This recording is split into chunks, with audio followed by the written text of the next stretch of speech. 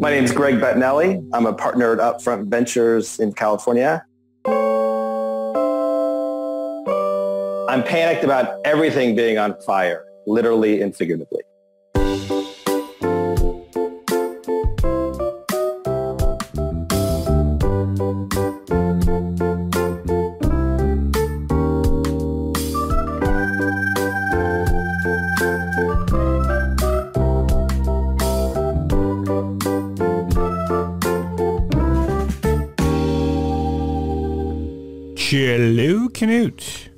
Howard.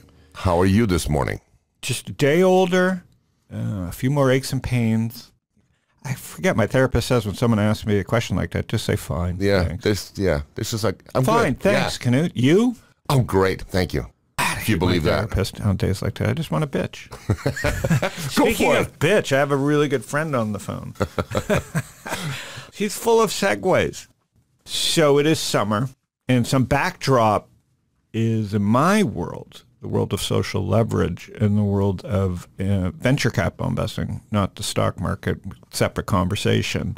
Things are on fire, and I have no explanation, but I've never seen a, a moment in time where people are getting paid for just saying they're in a business. Um, And I could, and so I want to talk about that with my guest, who's uh, Greg Bettinelli. He's a really old friend and made some great introductions to me. Was an LP, took a risk on us. He was a personal LP in our first fund that had Robinhood. We joke all the time. We've shared networks. We um, share some passions around collectibles and investing. And uh, we're only investors in one company together, Rally Road, but uh, it's been fun watching Greg work and get that company, you know, pushed forward uh, with. Uh, well, we'll talk about a little bit about that, and about the role of being at a big VC firm in Los Angeles and COVID and uh, having a family. And he's also a great golfer. Oh, fantastic. Yeah, I do think that my son. He, they haven't played. He hasn't played with my son in six, seven years, but I think uh, my son could take him now. But he is a good golfer All right. and likes the horse races, which is you know I find interesting because one of my favorite movies was uh, about a day at the track, and we used to go to the track in, well, in Sandy. I forget the name of the place. We'd meet down there and go to the track. He'll remind me. I think I've been there. So it's open for like a few months of the year. It's fantastic, and people are super weird at the horse track. And I think Greg is one of those super weird guys, which is good in our business. and funny story is, as uh, he's an LP. This is funny. This is total Greg. He um, we don't see each other that often, but we'll we'll hook up to play golf, and really not talk about our business, which is also what I like. Just talk about golf and and stuff. And you know, as an LP in social leverage, it was funny at the IPO of Robinhood. You know, once it, the stock kind of rocketed on the second week, and he sent me a text, and he goes, "Bought a boat." he was joking, but it was just funny. And then the stock went down like twenty bucks the next day. He goes, "Sold the boat." and uh, so you know you got to have that sense of humor about all this. You know, there's real money involved with these things, but at the same time, you know, you can't take this stuff too seriously. Uh, it's probably one of his, his superpowers. So, anyways, it, it'll be fun to have him. We haven't had like an hour long conversation about uh, investing in uh, maybe forever because we usually just talk about nonsense. So uh, let's get Greg in LA on the phone. You got it. Greg, Hey, Howard. long time no group chat. I heard you wanted to bitch and banter. I would like to I- bitch and banter because we don't do that here enough because I, I, I am friends with most people, but I'm not great friend. If I had all my great, great friends on, we wouldn't talk about anything except stuff we did in high school and no one would tune in except my other high school friends and I don't want to hang out with those people. Exactly. I'm super excited because I think I was around when this podcast was born. I don't know if it was coming out of a text group we were having. It was about, or it was early March when we knew the world was ending, Yeah. but it hadn't ended yet. But the stock market was going down 5% every day. Yeah. Um, and we were talking about, God, this feels exactly like what happened in 2001 and 2009. and we remembered how old we were because it felt like we had lived through these. Every day you think it's going to go to zero, and it felt like it did. And then you start buying, and it starts going down more, and you start buying, it goes down more, and then you stop buying, it starts going up. So you start selling, and it just, and then you put this podcast together. Um, and I'm glad I'm, you know, 15 months later, I'm on. So I'm super excited. About we, I wanted to get to the other side because I'm just, uh, you're an old man trapped inside a young body. Even though it's like, it's like, are you not Jewish, are you? I'm half Jewish. My yeah, mother's Jewish. You got the wrong half. You're very, you're very just uptight. You got the uptight, little bit grumpy. I'm totally attracted to it as an investor and as someone who I trust because you're not cynical, otherwise you wouldn't be in the business or in LA. But yet you look at everything with uh, a little bit uh, non, well, I would say non-rose colored glasses. So I always get a fair take. And I couldn't spend every day with you because we would never write a check for the rest of our lives. Right, Uh, right. But yet here we are. We've done checks together, and you introduced me to a lot of my good friends in the business. Tell me how you came to tech in general, because I don't know the backstory. I know you were at eBay. You introduced me to Ryan Yeah. Spoon. The, we met Yep. at the upfront comp. Well, we knew each other. I forget how, but how do you remember it? I, I remember meeting you on Twitter. I was at Live Nation Uh-huh. and you were an investor. We were in this food company together that was in Techstars. Oh God, Foodzie. that? Oh, well, yeah. Foodzie. Yeah, So that, was, a zero, oh wasn't it? It was. Um, my first, I was 0 for one. Uh-huh. Uh, I think it was 2007, Uh huh. 2008, somewhere in there. And then I think in your preamble, you had mentioned the first time we met in person was at Del Mar. Uh huh. Uh, and I remember because I f- forgot shoes or something, and I had to go buy some flip flops at the uh, that that And store my- by there. And that movie, what's a Let It Ride? What a great! I mean, Yes. if people are Yes. listening and have not watched that movie, you're not you're not a connoisseur of great content. I mean, one of the classic comedy. Have you seen it, Knut? I don't know. Let It Ride is Richard Dreyfuss at the peak of his Yeah, weird acting ability, spending a day at the track. I don't think I've and he seen was a degenerate game. I mean, any kid who's trading around Wall Street bets, Right. this is why I argue with the youths today. They think they know it all because they think they invented the internet. They think Wall Street bets is the first incarnation of social. You know, they think everything's theirs. They haven't fucking watched a movie. You know what I mean? A thousand times. They don't know what a, you know, they came up with memes. We had, a, our memes were two hours long. Scarface was a meme, but it was the whole fucking movie you can't get a kid to watch all of Scarface now. They go, oh, I saw a meme, right? It's like we had time. These kids today think they have no time, right? I can't explain it. That's true. Well, so the guy's name was Jay Trotter, if I remember. Jay Trotter. And- no, Trotter and- was the idiot friend. No, I thought it was. I, for some reason, I thought there was like this horse racing reference. 'cause Trotter, was his name. Trotter. And what was the the two things I actress in that? The actress was in every movie back then, and I hated Oh, her. I don't remember. I think you know. I think it was, and I'm going to cheat. I know Teri Garr was in the Teri Garr. She used to be. right? She would just, hey, we need a check for a comedy flick. All right, call Terry. Yeah. Hated her. Right. And but I remember two things about that movie. One was the expression "walking tall." That's where I learned the expression. Like right now, Howard, you're walking tall. Because what you do it if you're a racetrack and you have a really good day and you don't really trust anybody there, you put your money in your shoes. and so the expression of walking tall is you have both feet and your feet are standing on your cash in your under your sock because you're walking tall. Yeah. Um, and that's the a, second that's a was, Bets line for sure. You're Yep. walking tall. Eh, Uh huh. And this, the second thing, and you mentioned my, you know, a bit of I can play both sides on opportunities, the good and the bad, is his whole Richard Dreyfuss, the main character. If I remember, his whole theory was he would bet on the horses that everyone else hated.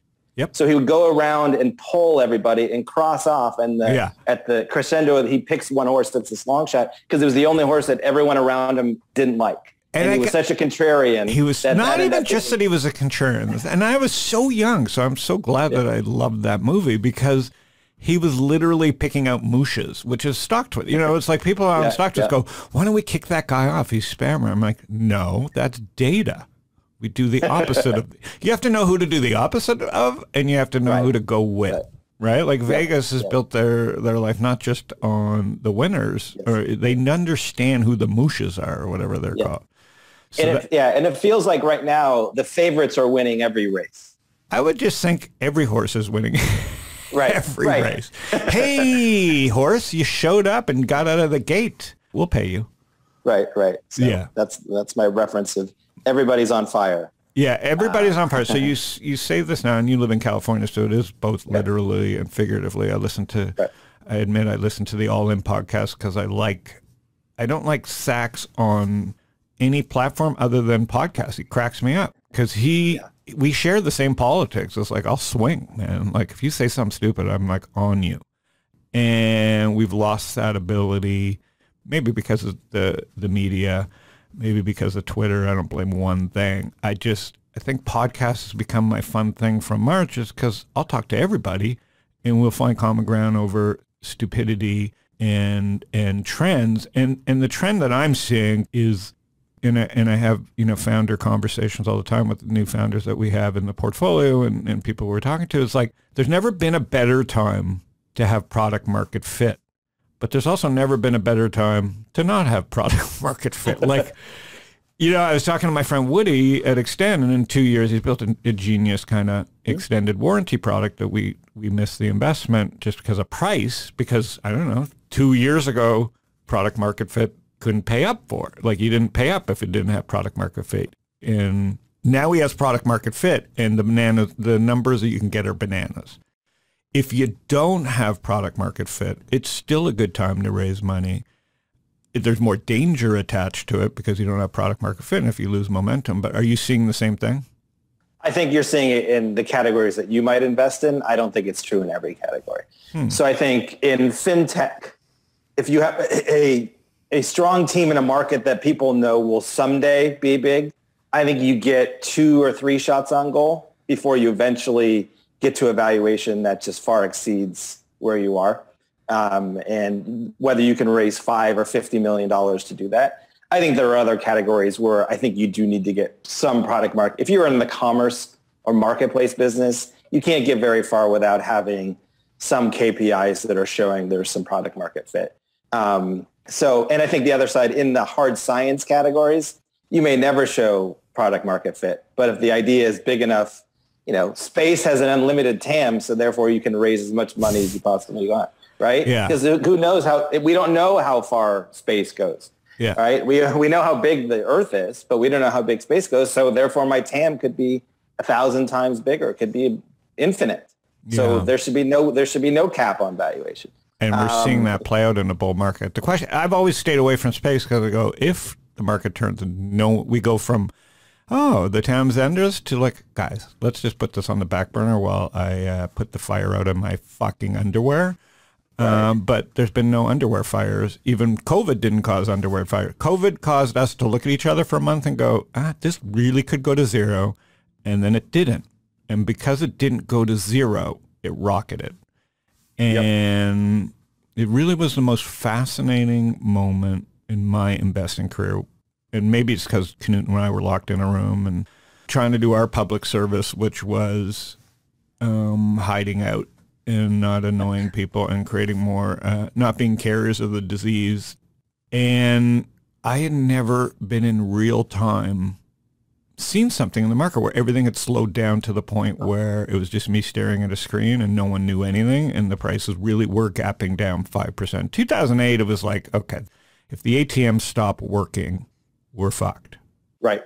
Here, we knew the ATMs weren't going to stop working. We just thought we'd never go outside again. And like, we had all forgotten that the, the technology was there to bail us out. I know there's a few of my friends that were just getting lamb along with calls and whatever. Really good traders that made some good bets that I could not foresee, and but I could not get my eyes off the screen because we were watching in digital real time, like something that we had never seen before, and I just it was surreal.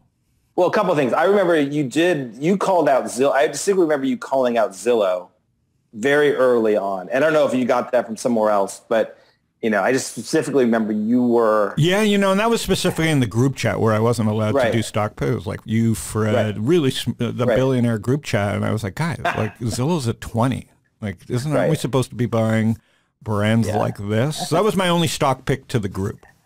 Right. And I remember, I also remember sending you this, I have this iconic picture. I live in a, in a pretty cool section of San, where Santa Monica and Brentwood merge, and Yep, in which the hills. area called called Brentwood Country Mart. And it, I sent you this picture. It was 3:15 on a Tuesday, and just nothing.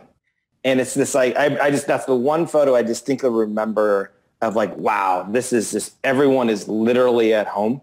There's nobody anywhere, and this this street is usually bustling with tourists and shoppers and locals and buses and construction workers and everything, and it was kind of just empty. And I remember that very distinctly. This is gonna. I think between March 15th and 4th of July, I know for a fact I'd never worked harder in my life because while there was that uncertainty, I had, you know, 12, 14 company active investments in my portfolio and no one really knew what to do. I think we ended up all being wrong, most of us, um, around how bad it would be. So all these fan founders are rightfully freaked out about what they should do about headcount. Anyone who needed cash in the next 120 days, like we didn't know what to do really. So we're triaging Good across point. the portfolio.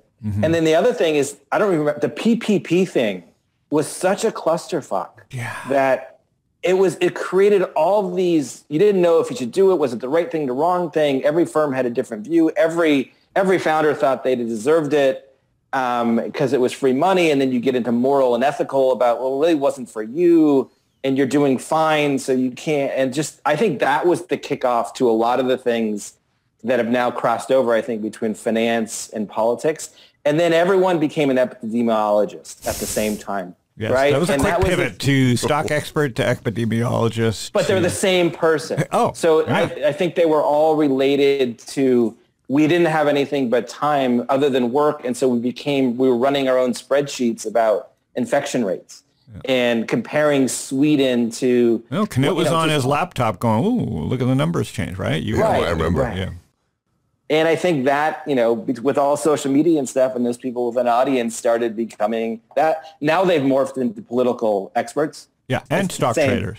Right, right. And so the people you've mentioned them already and others, like they just have built a platform. And I used to follow some of those people on Twitter because I thought they were saying interesting things about what I do for a living. Now they've become, you know, I kind of have to mute some of it because it's all about stuff that has nothing to do with what I do for a job.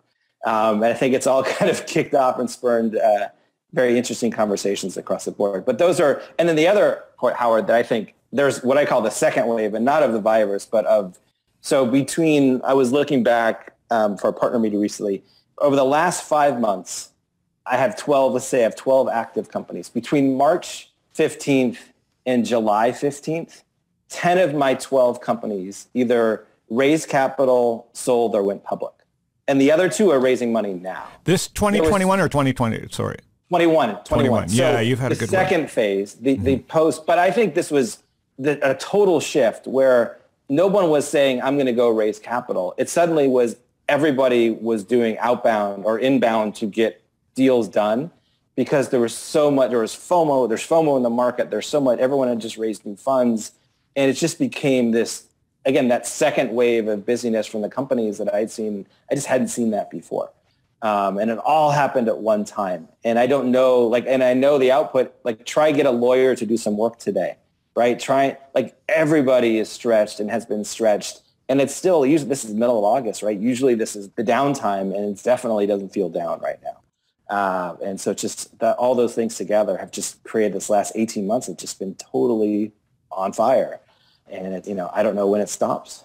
Yeah, I don't know when it stops. You got to kind of just pace yourself. And I find myself some months pacing myself and other months going, what the fuck am I doing? Like I'm, they drag me back in. I think it's the network and the relentless, it's just working whether you're working or not. So whenever you log back in, you're catching back up to just get yourself caught up and breathing. So it's really a different work. You know, we don't even have an office to go to yet. We're on this rat reel of catch up and you go for a week and go, I feel like I, I'm on, I feel like I got this in control. And then like even me this week back in Phoenix, it's like, it's my home. I feel like totally lost, uh, even though it's my home because I had a work thing going in San Diego on a desktop and now I've switched to a laptop and I'm like, I can't get the fucking mojo going, you know? So it's all really good, but it's also just created these new dynamics mentally that I'm, that I'm struggling with.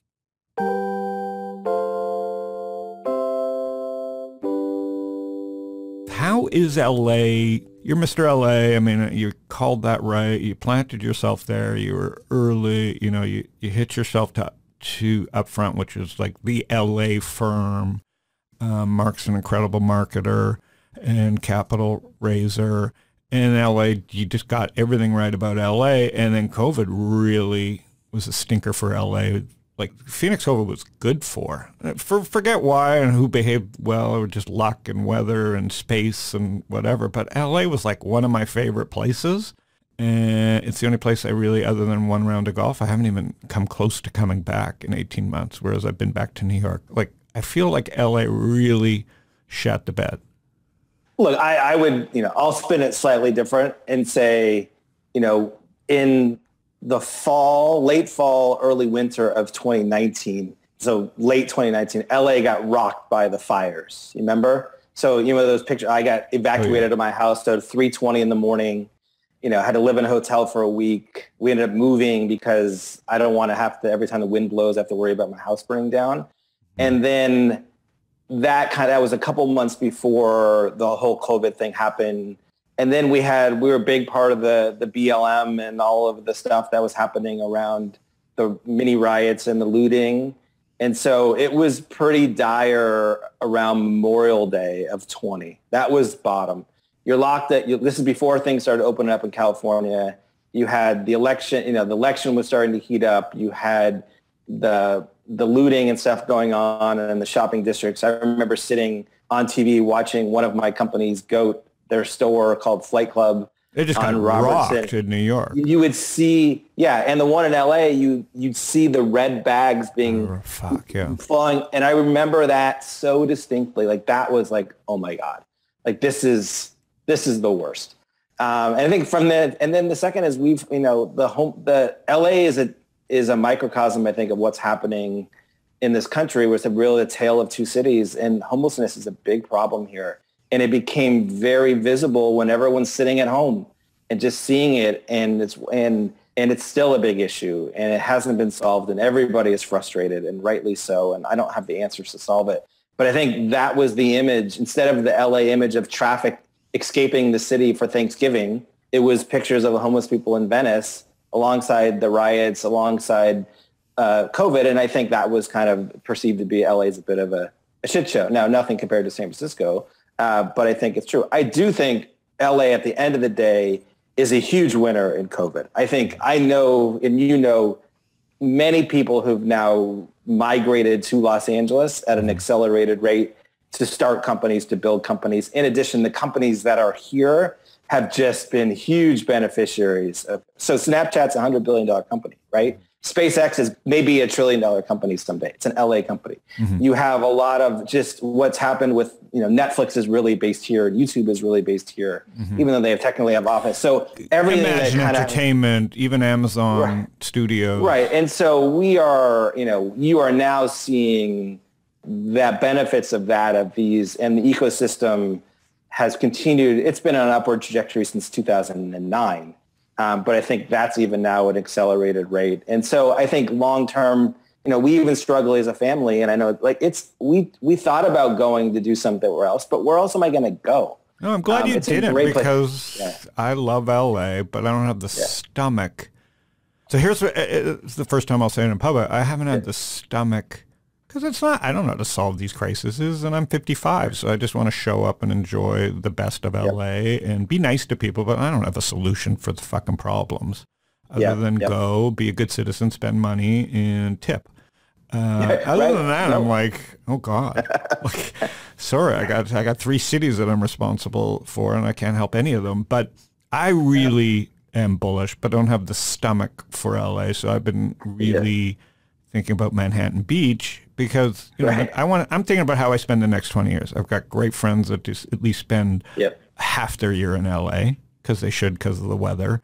I have great friends in San Diego and obviously a home in Phoenix. So to me the most interesting place on earth right now for someone that's thinking about California is Manhattan Beach if they could afford it of course because there's, you know, some sense of security on the street. There's great food. There's the beach. There's if you go at weird hours, it's only a half an hour maybe to Santa Monica. What would you think from Manhattan Beach to Santa Monica?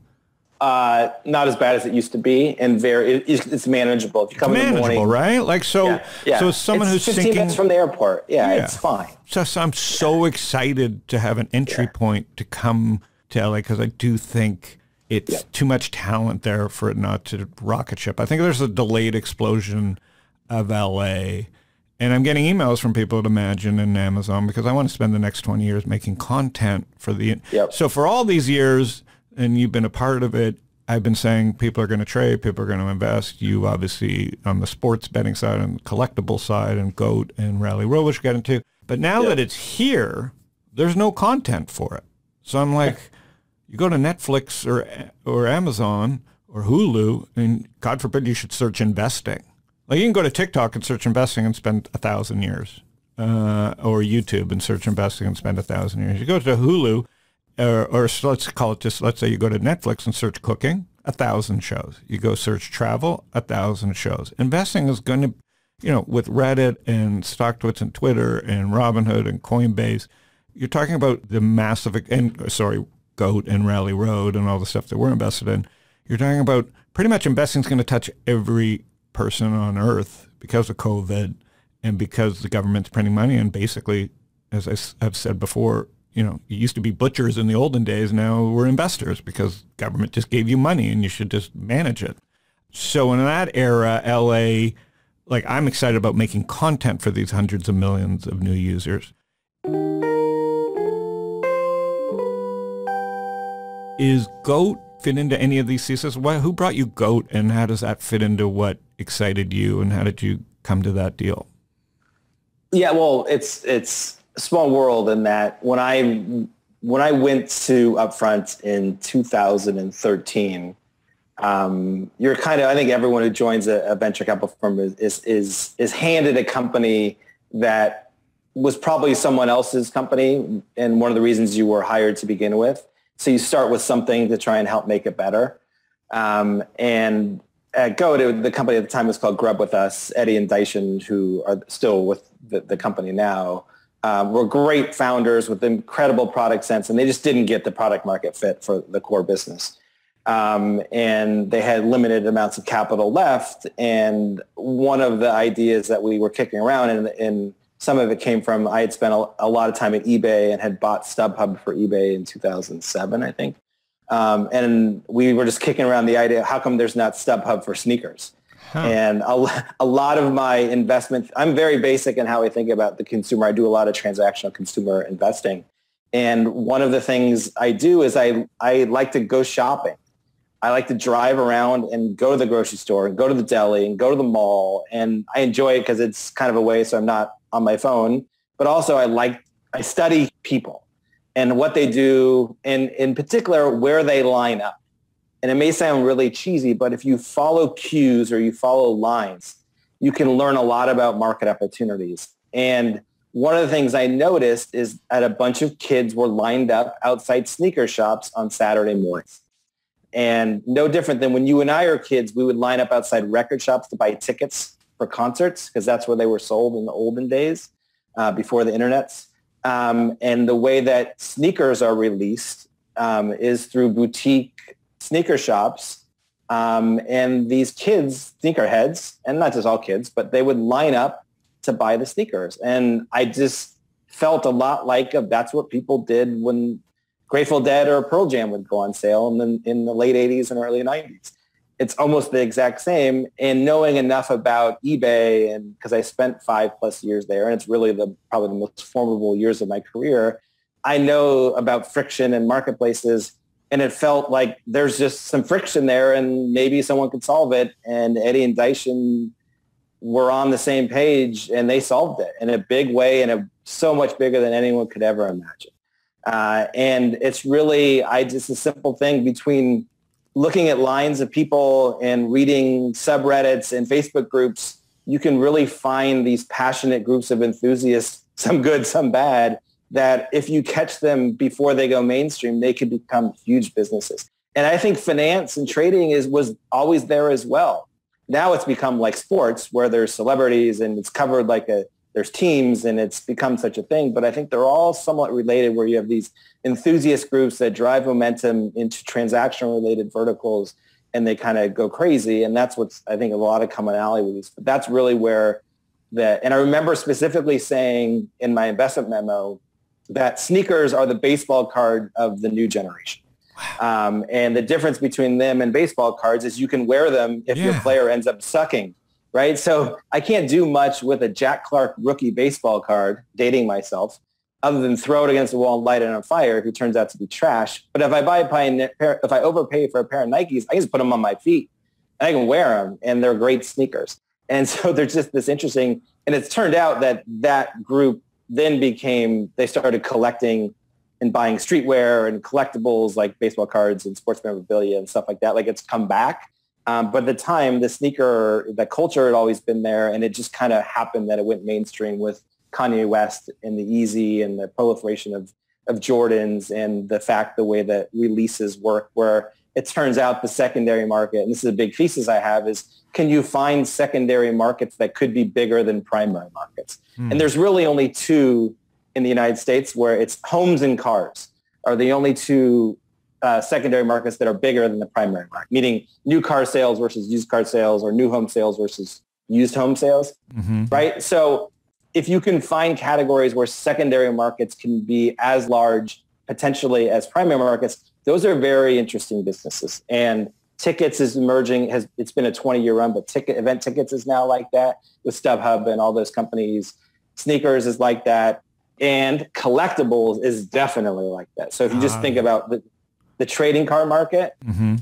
you know, it's maybe five to 10% of the total, the primary sales of new cards, for example, five to 10% of the market is primary, 90% is secondary. So those are super interesting because they're always fragmented and a lot of mom and pops and usually not a lot of technology, but a lot of enthusiasm and interest from the customers who participate in these verticals. And I just tend to spend time around. So sneakers and collectibles, they all mash together in that same kind of unified strategy that I have. So, so when did you invest in GOAT? What round? Because you're a bigger fund. Well, we So well, well, we already we were already an investor, right? So we, we were there when it pivoted, and then they raised. I remember they raised the Series A, which was really an extension to the previous round. It was just three years later.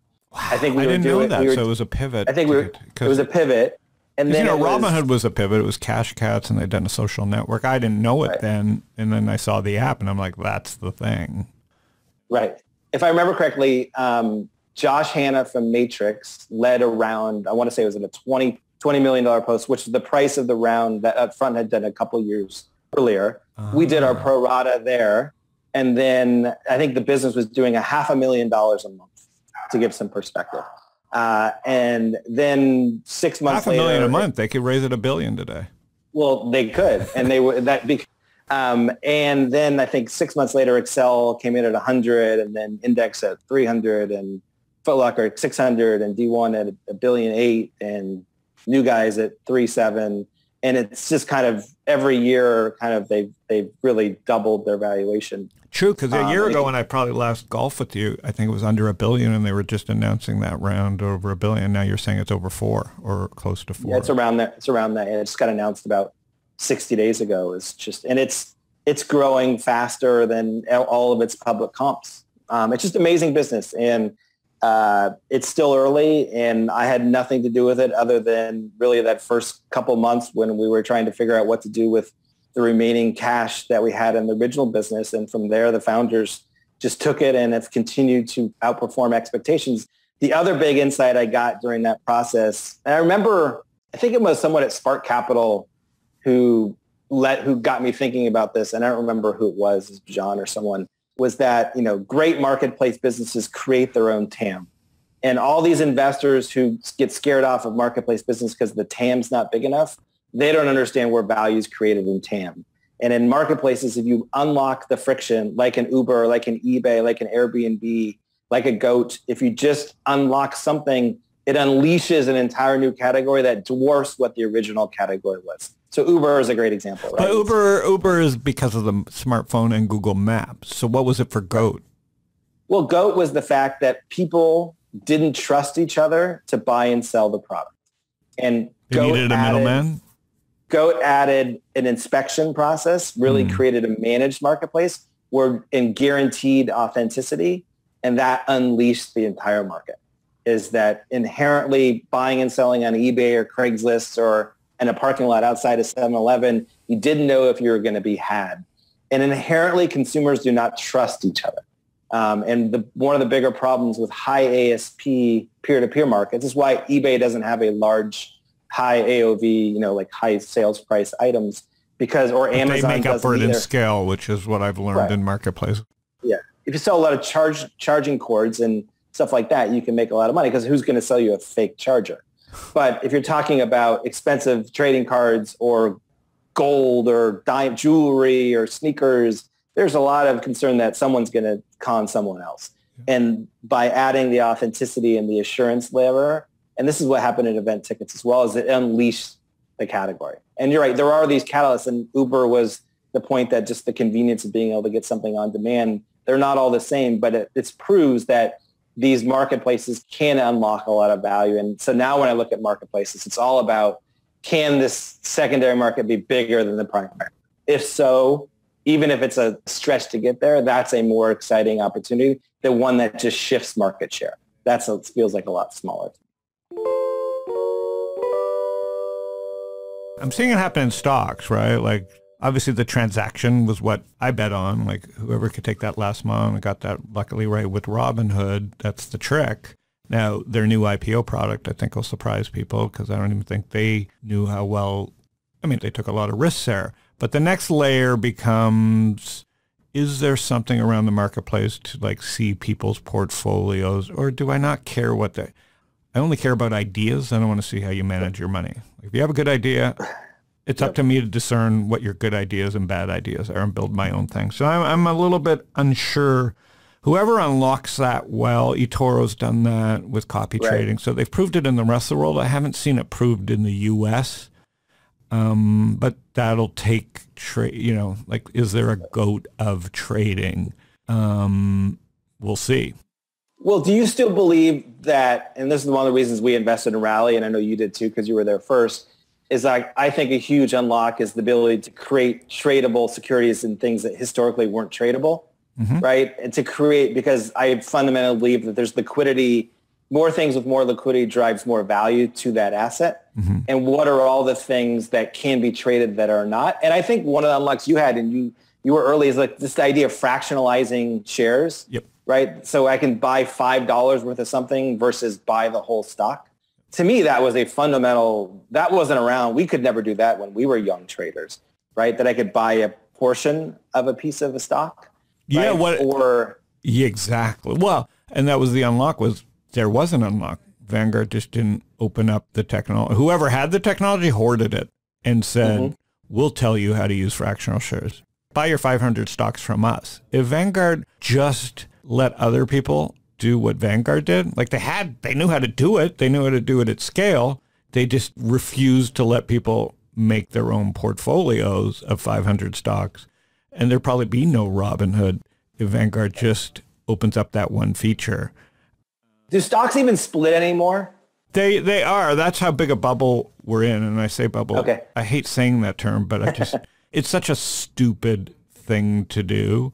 But because the market just goes up and it's at some point been politicized in that no one wants to deal with it, you don't want to get not elected because of the stock market. Because if you can rig it and it's working, don't change anything. So the everybody's just in this game, which is what made March so scary. Is like we didn't have an answer for a virus, and throwing money at a virus didn't work at first.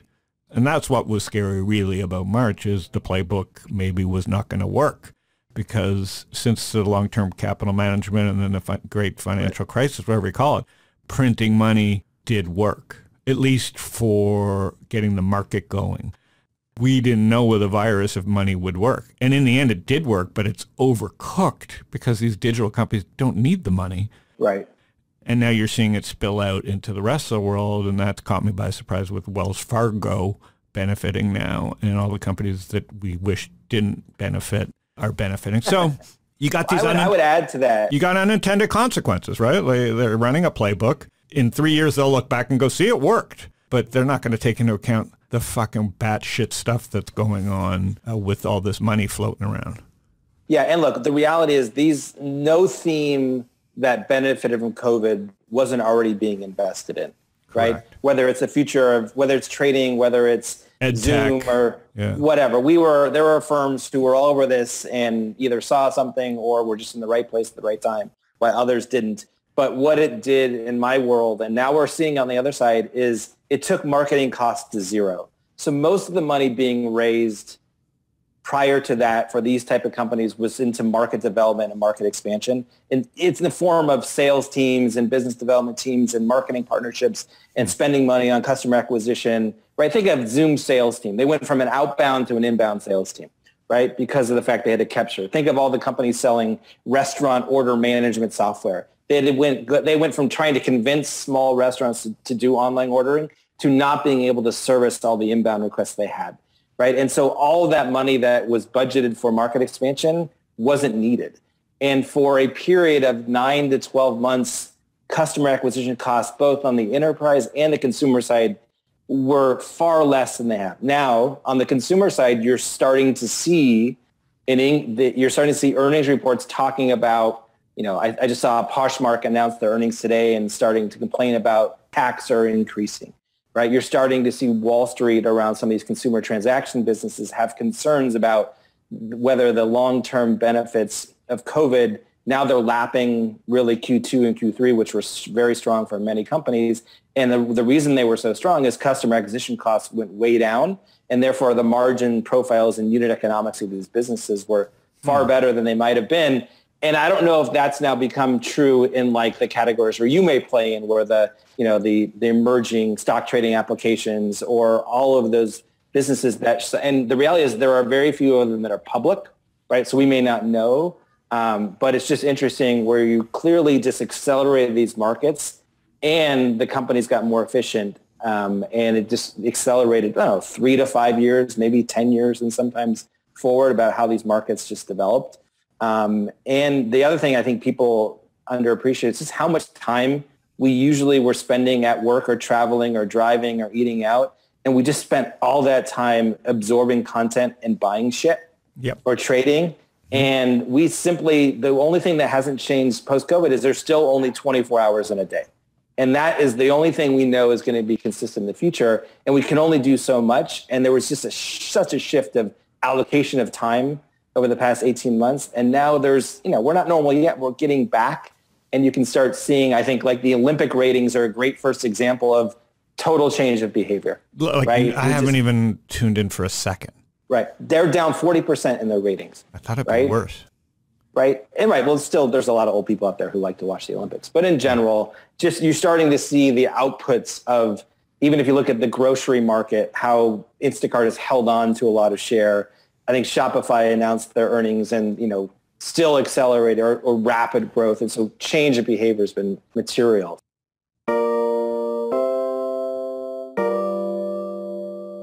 Yeah, I mean, I'm I'm, and I say stressed only because the 24 hour thing that you mentioned, and that I don't know what I'm supposed to do anymore because everything worked. I feel lucky, but at the same time, like, what's my responsibility now? Do I tip bigger? Like, I don't know what I'm supposed to do. I'm not a firefighter.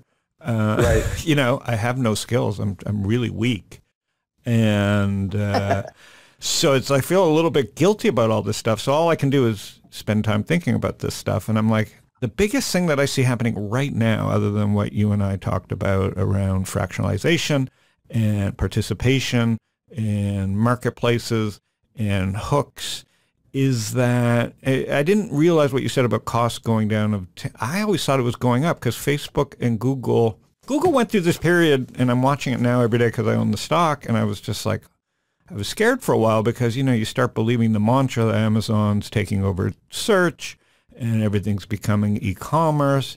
And then you start seeing Google finally catching up to everybody. And I'm like, what am I like? I mean, I almost got scared out of it.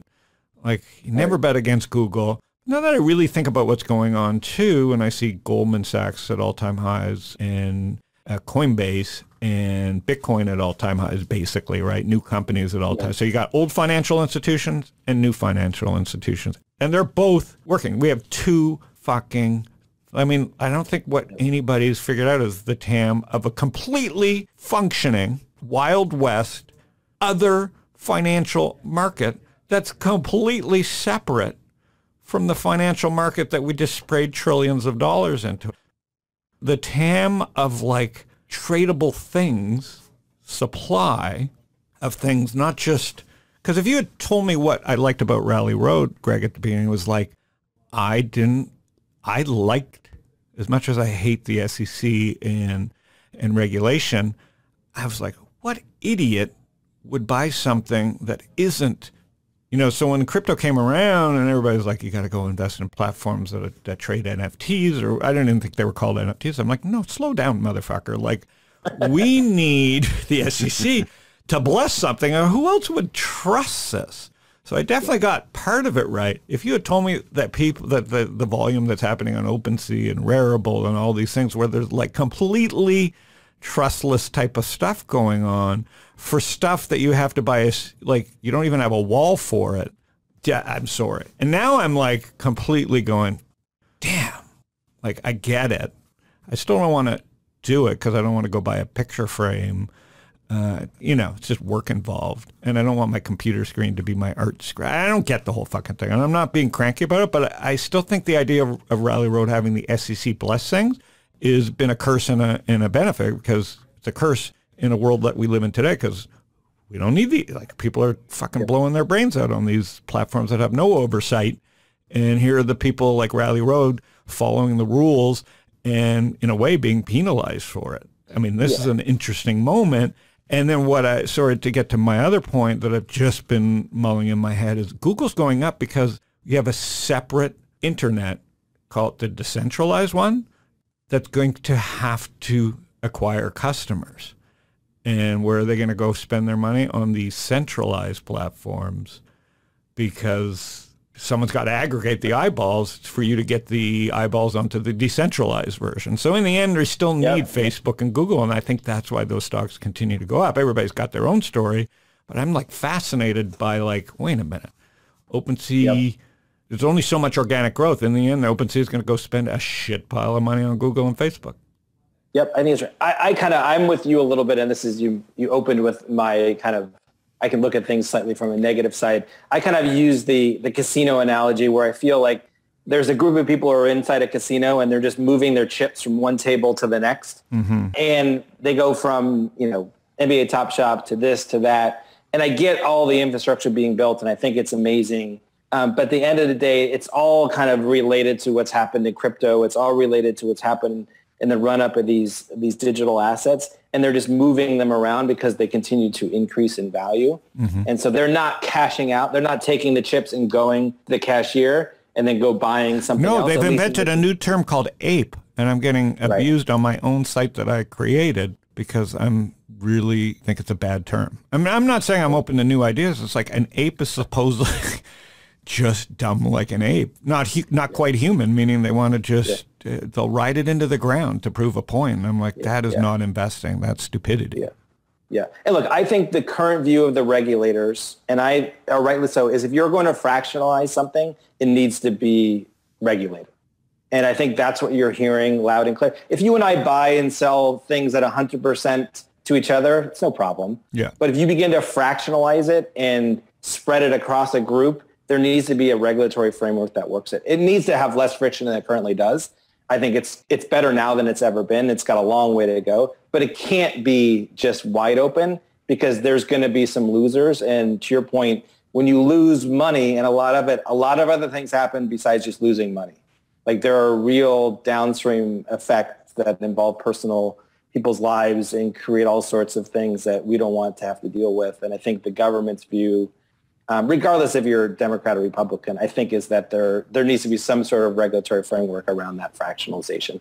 And I think that's what you see and you know our experience with Rally and others would signify that. And I think there's a big fight going on right now in regards to the role that government's going to have. Because um, these, you know, from a taxation perspective and stuff, we all know there's, you know, we're not, it's not fully monetized on the government side. They know that too. And I think this is an opportunity for them to kind of get their hands on some of that. And there's a natural kind of adverse reaction to that by a lot of people in the community for sure.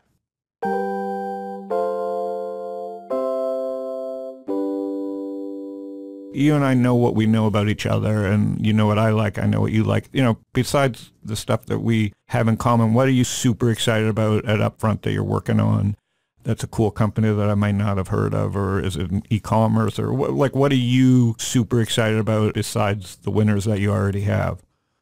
No, look, I have I there I have some commonalities, and I, I really like these. You know, I write two to five million dollar lead checks in interesting transactional and consumer services businesses. It's kind of what I do. And if I look back at what I've done well over the past six or seven years, plus what I did well as, as an operator prior to that, it's really my sweet spot.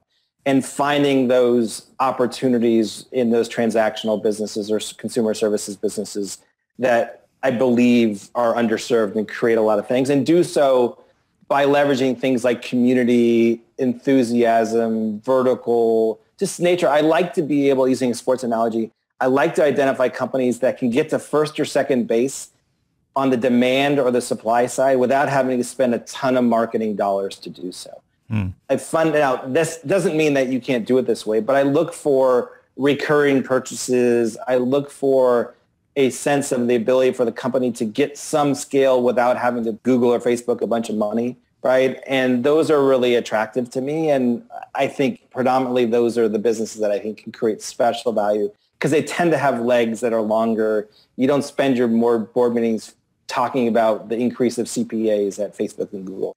So what are the areas, like those are things that I, I, spend time. I use a lot of existing businesses to identify other businesses like for like. Um, like I'm fascinated. I think it was our friend Scott Marlette who told me about uh, the business uh, Bring a Trailer. Do you know that business? Yeah. Right. I love the idea of using storytelling to convince people to buy things they didn't know they wanted.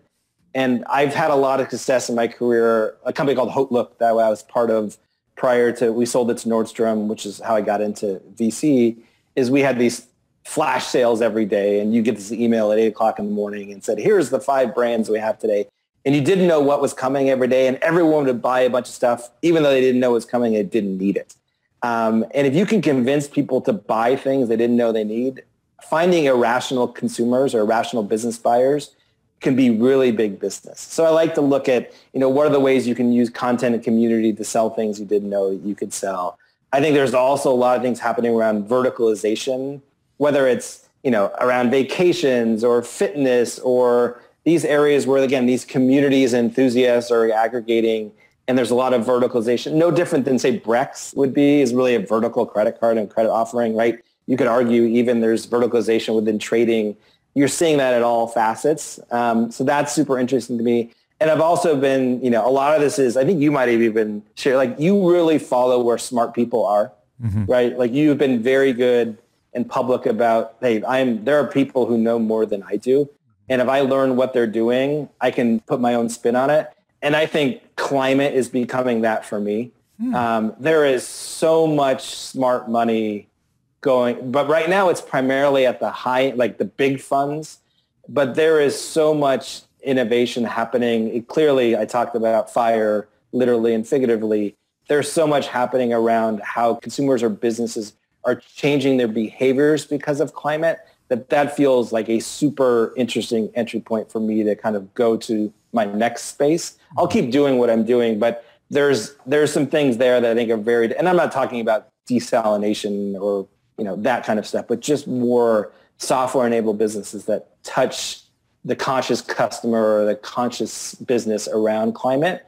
Um, those are interesting things to me. And so those are, you know, again, I'm, I'm very founder driven. I react to finding great teams with unique, really what I call founder market fit. But I do have these kind of areas of, of focus where I'll spend more time than others.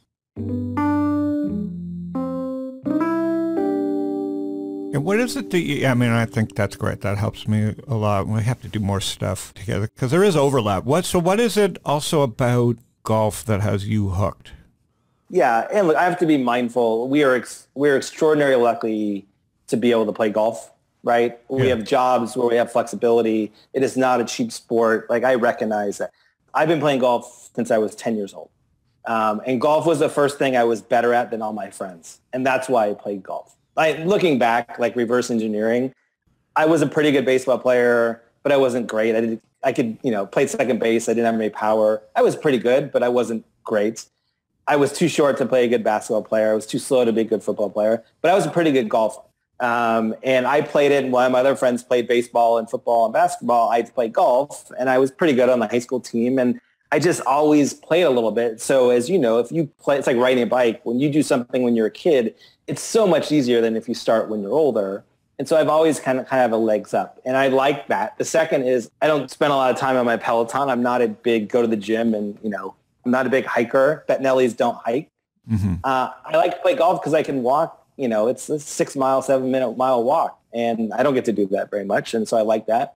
And the other thing is, I to your point, you made a comment. I don't like to talk about work as much as I probably should, right? And but I can still learn a lot about a person on the golf course, even though I'm not talking about work. I feel if I get you on a golf course for four hours, you I don't need me. to ever I know whether we're one and the same. I know whether we're never going to have lunch together again. I know your mannerisms. I know if you're polite. I know if you say good shot. I know if you fix your ball mark. I know if you play out of turn. I know if you talk on the phone on the whole, you know, all the things that there's this kind of unwritten and written rules. You learn a lot about a person when you're in the car with them or playing golf with them or having dinner with them. And golf's just one of those things I do. Um, and it turns out more people do it than I thought. And so there's actually a lot of people who play golf. And I think it, golf's been a huge beneficiary of, uh, of COVID. But I don't play golf when I'm on vacation with my family. Yeah, neither do I. Right. And so it's just, and you know, I guess it's kind of my thing. I think like trading, golf is the hardest thing to do because uh, there's so many movements. It's very three dimensional. And so is investing. Like you're competing against yep. everybody. There's no right way to do it. Uh, there's a million swings. You know, at impact, everybody looks the same, just like a, a good trade. You know, you can yep. play the tape back and was, you did the right things. Um, but Instagram, I have found, has taken. I am getting so much consumable, digestible tips and ideas.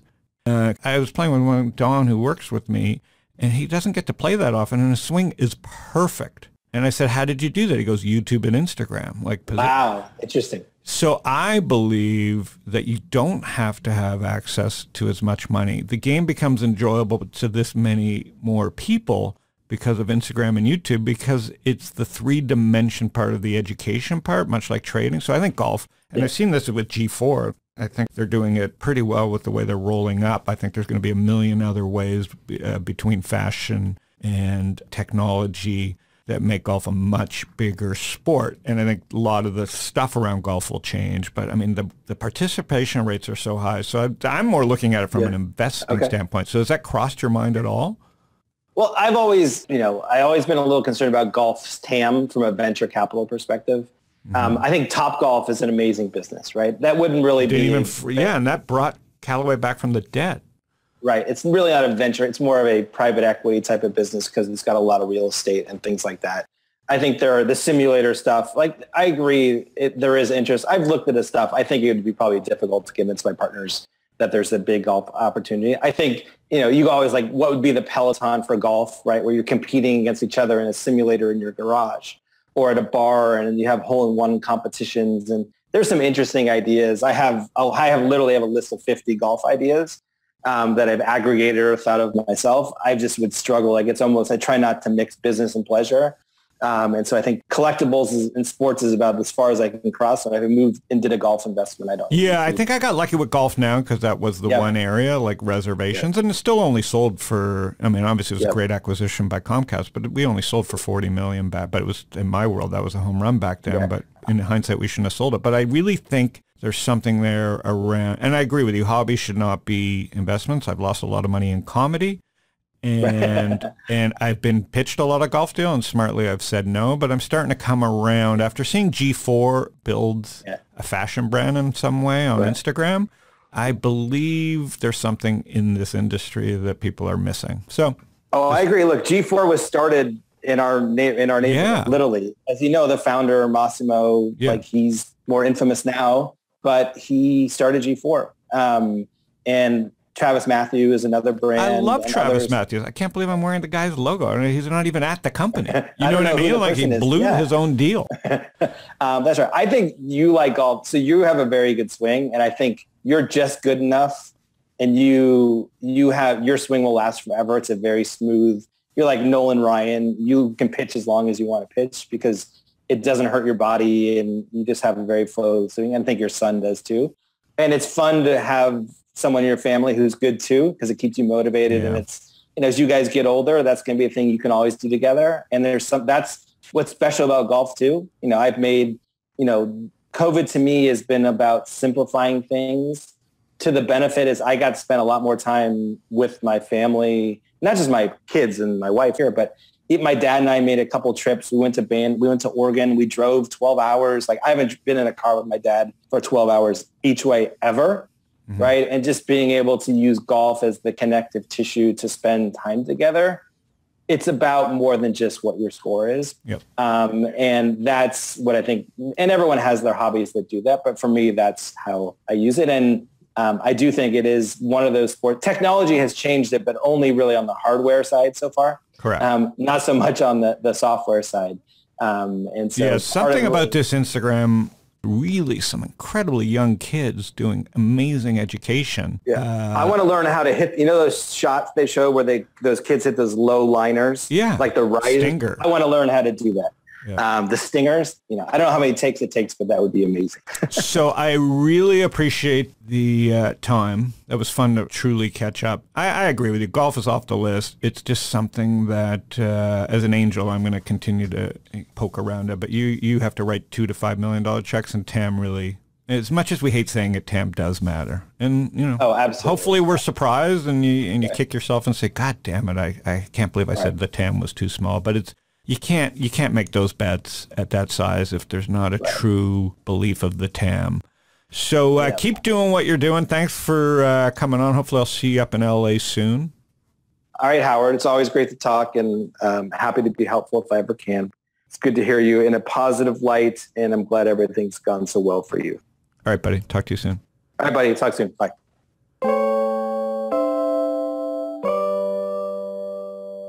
There you have it, Greg, gentleman VC. Absolutely. the grumpy gentleman. I, I'm a little scared around Greg sometimes, but uh, it's a good scared because it's just like you know what you're getting all the time.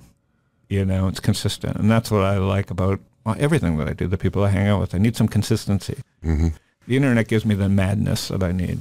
So uh, thanks for doing that, Greg. Uh, Knut, good to see you. This is uh, Panic with Friends. We sit down with venture capitalists, investors, traders, entrepreneurs, try and just see some playbooks, help people get uh, maybe one or two steps ahead. And uh, we do this once a week. You can search the archive, go to Spotify, Google, Apple, subscribe, search my name, Howard Lindzon. You'll get one a week. We release them on Thursdays. And uh, so I appreciate you tuning in. Tell your friends, and we'll see you next week.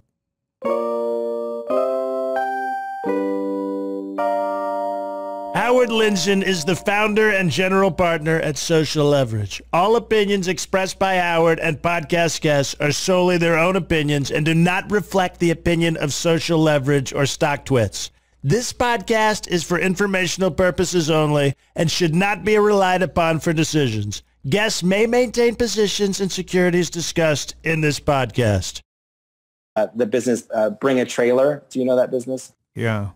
right? I love the idea of using storytelling to convince people to buy things they didn't know they wanted.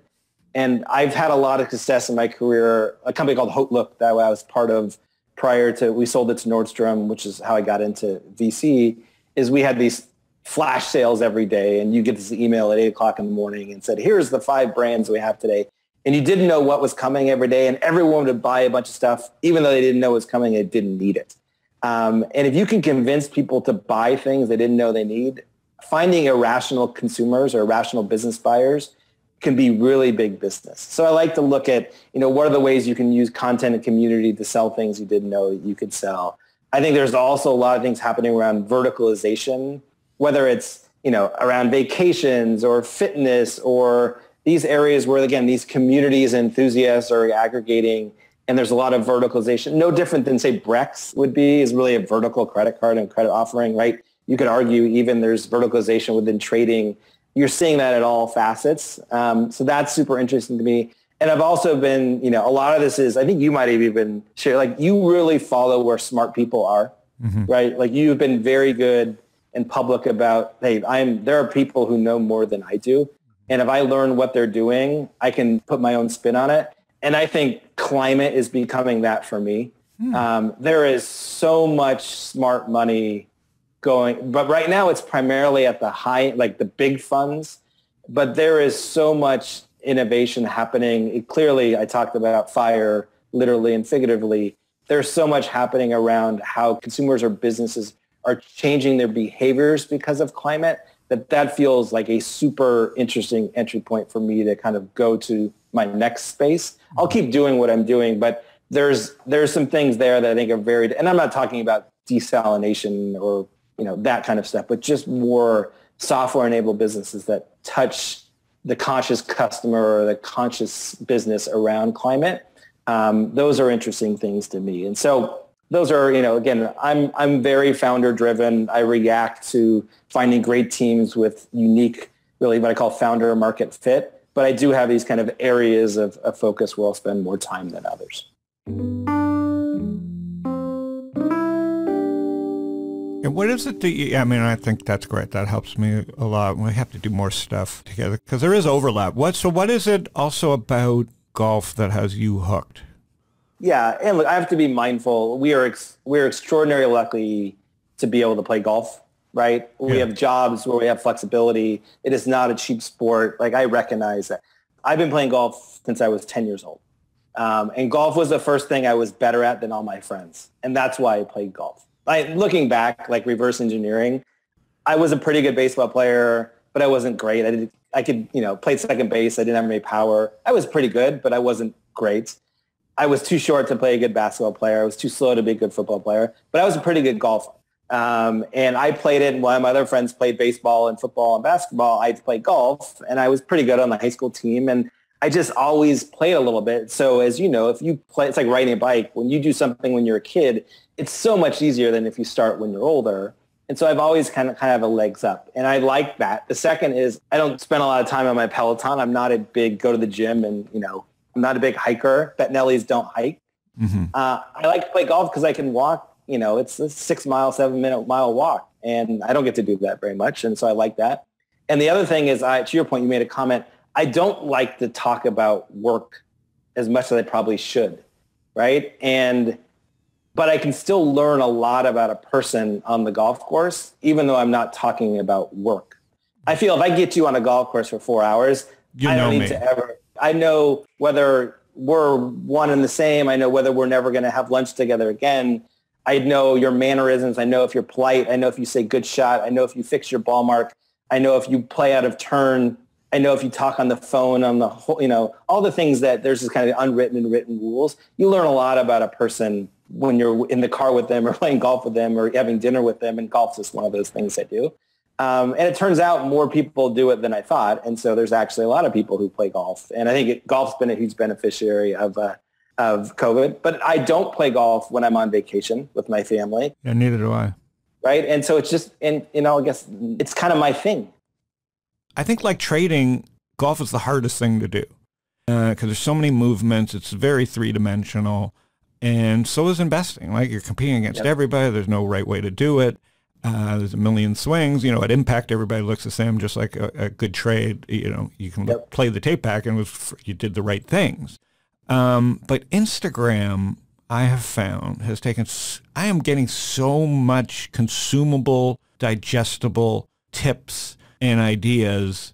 Uh, I was playing with one Don who works with me, and he doesn't get to play that often, and his swing is perfect. And I said, "How did you do that?" He goes, "YouTube and Instagram." Like, Wow. Interesting. So I believe that you don't have to have access to as much money. The game becomes enjoyable to this many more people because of Instagram and YouTube because it's the three dimension part of the education part, much like trading. So I think golf, and I've seen this with G/FORE. I think they're doing it pretty well with the way they're rolling up. I think there's going to be a million other ways uh, between fashion and technology that make golf a much bigger sport. And I think a lot of the stuff around golf will change. But I mean, the, the participation rates are so high. So I, I'm more looking at it from Yeah. an investing Okay. standpoint. So has that crossed your mind at all? Well, I've always, you know, I always been a little concerned about golf's TAM from a venture capital perspective. Um, I think Topgolf is an amazing business, right? That wouldn't really Didn't be even, yeah, and that brought Callaway back from the dead. Right. It's really not a venture. It's more of a private equity type of business because it's got a lot of real estate and things like that. I think there are the simulator stuff. Like I agree, it, there is interest. I've looked at this stuff. I think it would be probably difficult to convince my partners that there's a big golf opportunity. I think you know you always like what would be the peloton for golf, right? Where you're competing against each other in a simulator in your garage or at a bar, and you have hole-in-one competitions. And there's some interesting ideas. I have oh, I have literally have a list of 50 golf ideas um, that I've aggregated or thought of myself. I just would struggle. Like it's almost I try not to mix business and pleasure. Um, and so I think collectibles is, in sports is about as far as I can cross. And I moved and did a golf investment, I don't. Yeah, I think I got lucky with GolfNow because that was the Yeah. one area like reservations, and it's still only sold for. I mean, obviously it was Yeah. a great acquisition by Comcast, but we only sold for forty million back. But it was in my world that was a home run back then. But in hindsight, we shouldn't have sold it. But I really think there's something there around, and I agree with you. Hobbies should not be investments. I've lost a lot of money in comedy. and and I've been pitched a lot of golf deals, and smartly I've said no. But I'm starting to come around after seeing G/FORE build Yeah. a fashion brand in some way on Right. Instagram. I believe there's something in this industry that people are missing. So Oh, I agree. Look, G/FORE was started in our na- in our neighborhood, Yeah. literally. As you know, the founder Mossimo, Yeah. like he's more infamous now, but he started G/FORE. Um, and TravisMathew is another brand. I love Travis others. Matthews. I can't believe I'm wearing the guy's logo. I mean, he's not even at the company. You know what I know mean? Like he is. blew Yeah. his own deal. Um, that's right. I think you like golf, so you have a very good swing, and I think you're just good enough, and you you have your swing will last forever. It's a very smooth. You're like Nolan Ryan. You can pitch as long as you want to pitch because it doesn't hurt your body, and you just have a very flow swing. I think your son does too, and it's fun to have someone in your family who's good too because it keeps you motivated, and it's you know as you guys get older, that's going to be a thing you can always do together. And there's some that's what's special about golf too. You know, I've made, you know, COVID to me has been about simplifying things to the benefit is I got to spend a lot more time with my family, not just my kids and my wife here, but my dad and I made a couple trips. We went to Bend, we went to Oregon. We drove 12 hours. Like I haven't been in a car with my dad for 12 hours each way ever. Mhm. Right. And just being able to use golf as the connective tissue to spend time together. It's about more than just what your score is. Yep. Um, and that's what I think. And everyone has their hobbies that do that. But for me, that's how I use it. And um, I do think it is one of those sports. Technology has changed it, but only really on the hardware side so far. Correct. Um, not so much on the, the software side. Um, and so yeah, something about this Instagram. Really, some incredibly young kids doing amazing education. Yeah. Uh, I want to learn how to hit. You know those shots they show where they those kids hit those low liners. Yeah. like the right. Stinger. I want to learn how to do that. Yeah. Um, the stingers. You know, I don't know how many takes it takes, but that would be amazing. so I really appreciate the uh, time. That was fun to truly catch up. I, I agree with you. Golf is off the list. It's just something that, uh, as an angel, I'm going to continue to poke around it. But you, you have to write two to five million dollar checks, and TAM really, as much as we hate saying it, TAM does matter. And you know, Oh, absolutely. hopefully we're surprised, and you and you kick yourself and say, "God damn it, I, I can't believe I said the TAM was too small." But it's you can't you can't make those bets at that size if there's not a true belief of the TAM. So uh, keep doing what you're doing. Thanks for uh, coming on. Hopefully I'll see you up in LA soon. All right, Howard. It's always great to talk, and um, happy to be helpful if I ever can. It's good to hear you in a positive light, and I'm glad everything's gone so well for you. All right, buddy. Talk to you soon. All right, buddy. Talk soon. Bye.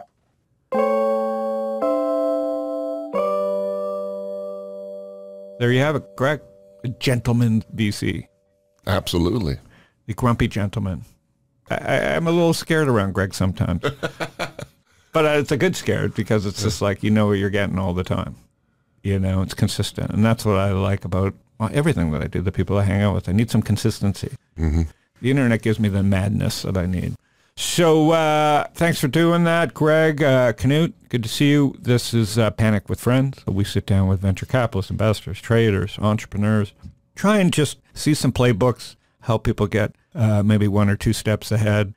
And uh, we do this once a week. You can search the archive, go to Spotify, Google, Apple, subscribe, search my name, Howard Lindzon. You'll get one a week. We release them on Thursdays. And uh, so I appreciate you tuning in. Tell your friends, and we'll see you next week.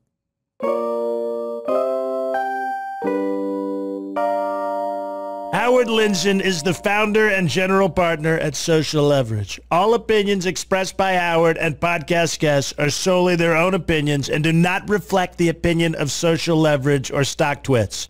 This podcast is for informational purposes only and should not be relied upon for decisions. Guests may maintain positions in securities discussed in this podcast saying at TAM does matter. And, you know, oh, absolutely. hopefully we're surprised and you, and you kick yourself and say, God damn it, I, I can't believe I right. said the TAM was too small. But it's, you can't, you can't make those bets at that size if there's not a right. true belief of the TAM. So uh, yeah. keep doing what you're doing. Thanks for uh, coming on. Hopefully I'll see you up in LA soon. All right, Howard. It's always great to talk and um, happy to be helpful if I ever can. It's good to hear you in a positive light, and I'm glad everything's gone so well for you. All right, buddy. Talk to you soon. All right, buddy. Talk soon. Bye.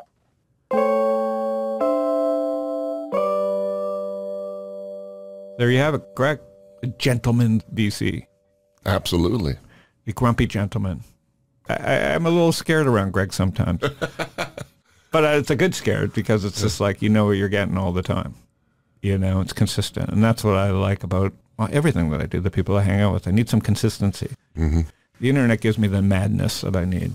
So uh, thanks for doing that, Greg. Uh, Knut, good to see you. This is uh, Panic with Friends. We sit down with venture capitalists, investors, traders, entrepreneurs, try and just see some playbooks, help people get uh, maybe one or two steps ahead.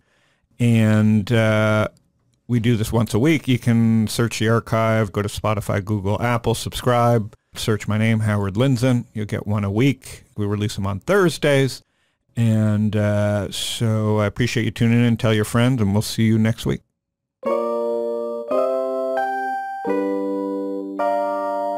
Howard Lindzon is the founder and general partner at Social Leverage. All opinions expressed by Howard and podcast guests are solely their own opinions and do not reflect the opinion of Social Leverage or StockTwits. This podcast is for informational purposes only and should not be relied upon for decisions. Guests may maintain positions in securities discussed in this podcast. Podcast guests are solely their own opinions and do not reflect the opinion of Social Leverage or stock StockTwits. This podcast is for informational purposes only and should not be relied upon for decisions. Guests may maintain positions in securities discussed in this podcast. Podcast.